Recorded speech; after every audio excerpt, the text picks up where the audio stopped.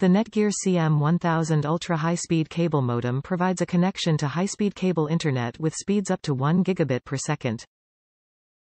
It is 10x faster than DOCSIS 3.0.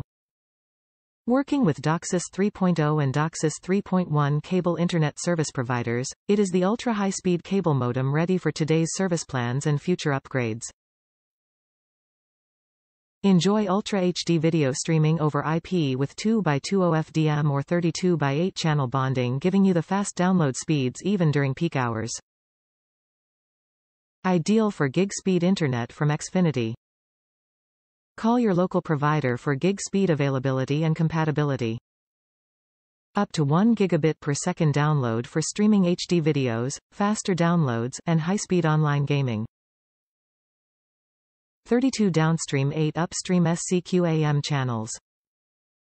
Fast web self-activation for Xfinity from Comcast Cox customers get connected without a service call. Compatible with Spectrum.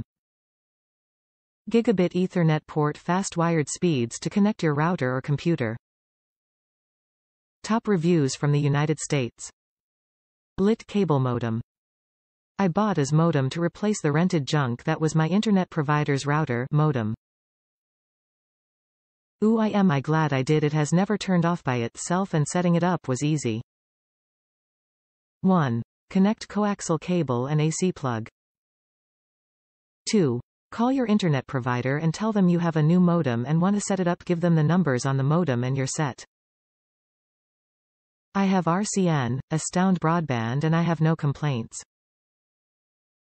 My internet plan speed is 600 Mbps and I am getting that well you know I have a bunch of devices connected so not gonna see the full 600, and rem that the device you use like your phone or PC or anything else has to be able to even hit the speeds that you pay for if not it's just gonna hit the max or around the max it can reach. For example I can hit the full 600, mostly 500 something on my laptop but my old Samsung A10s can only hit 120 or less, my Note 9 gets about 250 and up I think 500 was my max on it. So don't hate it too fast if your phone can't keep up.